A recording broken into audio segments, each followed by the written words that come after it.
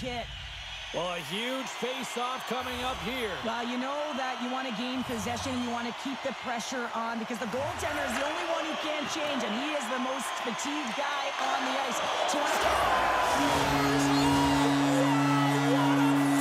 I'm telling you, James, this is unbelievable. To be able to have that puck get tight to your feet, go through your legs, and then get it up and bury it on the goaltender, that's an unbelievable play and even greater finish.